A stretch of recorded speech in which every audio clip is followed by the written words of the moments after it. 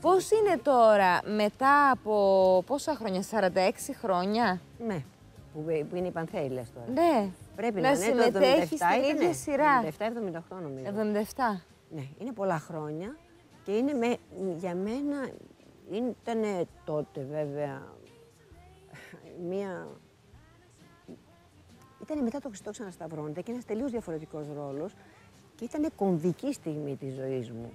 Αλλά είναι και ένα έργο, είναι μια, ένα μυθιστόρημα, είναι τέσσερα μυθιστορήματα του Τάσου Αθανασιάδη που είναι, απεικονίζουν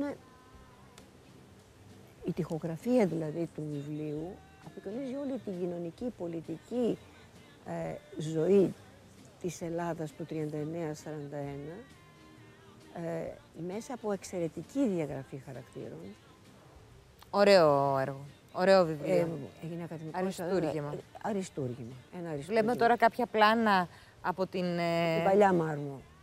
από τη σειρά του τότε.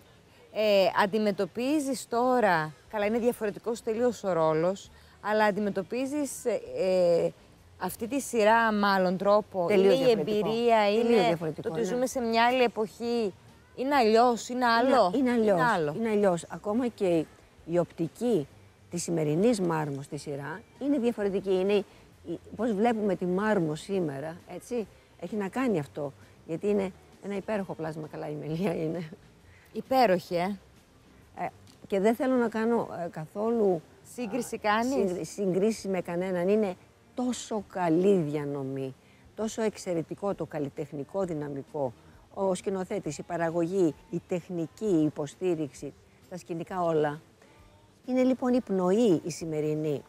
Πώς βλέπουμε σήμερα τους Πανθέους, που αυτό διαφοροποιεί την κατάσταση. Ε, και έχουμε και το καλό το, ε, αυτή τη στιγμή που δεν υπάρχει στο μυθιστόρημα γιατί έπρεπε να εφευρεθούν ρόλοι που ήταν η οικογένεια, οι, οι πλαϊνοί ρόλοι που κινούν άλλες ιστορίες που έχουν πάρα πολύ μεγάλο ενδιαφέρον κατά τη διάρκεια. Που έχουν προσθεθεί τώρα στη σειρά. Υπήρχαν ως, ε, ως ένα πέρασμα το οποίο όμως μέσα στη σειρά την καθημερινή πρέπει να ανοίξει και να δούμε και ποιοι ήταν αυτοί οι χαρακτήρες. Ποια ήταν αυτή η Χρυσοστόμη, ποιος ήταν ο θείος, ποιος ήταν ο ανιψιός, ποια ήταν η ανιψιά. Ε, υπάρχουν λοιπόν, τώρα που όσο προχωράει η σειρά θα δείτε, γίνονται φορές διαπλοκές μέσα στην οικογένεια, τη μεγά, το μεγάλη βεντάλια της οικογένειας, που νομίζω ότι θα τον γοητεύσουν τον κόσμο, γιατί ε, είναι σειρά φτιαγμένη με πολύ μεράκι, με πολύ γενναιότητα και από άποψη παραγωγής και από άποψη σκηνοθεσίας. Ε, αισθάνομαι πολύ περήφανη για όλους. Τώρα, μ, χαίρομαι επίσης, Φέη, για την στροφή της ελληνικής τηλεόρασης στην μυθοπλασία. Χαίρομαι πολύ γι' αυτό. Είναι πολύ ωραίες σειρές που έχουν βγει. Κόσμος που δουλεύει στη τηλεόραση, εξαιρετική. Έχεις δει; Δεν προλαβαίνω να το δω. Τι να προλάβω, καλά, αφού δεν προλαβαίνω. Είναι Προλαβαίνω πάρα να πολλές οι κοιμηθώ. σειρές. Εμένα μου κάνει εντύπωση. Πάρα πολλές. Ε, και που έχουν αναφορές σε άλλες εποχές το μεγαλύτερο μέρος των σειρών. Δηλαδή, λες και αυτό που κάνουμε στην Ελλάδα κάνει ένας. Πώς ήταν στη μόδα, θυμόσαστε τα καταστήματα με τα γιαούρτια, με παγωτό γιαούρτι; Ναι. Γέμιζε. Γε- παντού. γέμιζε αυτό. Δηλαδή, Ε, νομίζω ότι σ- άνοιξε η όρεξη από το... Ξεκίνησε από- από τη, από- μέσα από τον κορονοϊό, βγήκανε μετά, μετά τις μέλισσες, άρχισαν να βγαίνουν μια λαχτάρα του κόσμου για μια νοσταλγία, για κάτι ρομαντικό. είναι η λαχτάρα του κόσμου ή η τηλεόραση μπορεί να επιβάλλει κάτι; Ε, νομίζω ότι είναι ένας συνδυασμός. Νομίζω είναι ένας συνδυασμός και αισθάνθηκαν και μια μεγαλύτερη ασφάλεια ότι έχουν ένα κείμενο που έχει μια αρχή, μέση και ένα τέλος. Που ωστόσο αυτό δεν μπορώ να το λέω τόσο αποκλειστικά, γιατί υπάρχουν εξαιρετικές σειρές. Μην πας μακριά, οι μέλισσε που δεν, είχαν, δεν ήταν μυθοπλασία, ήταν όμως φτιαγμένο ένα κείμενο από καινούργια συγγραφέα, ε, σεναριογράφο εξαιρετικό, με εξαιρετική ίντριγκα. Έχουμε πολύ καλούς συγγραφείς.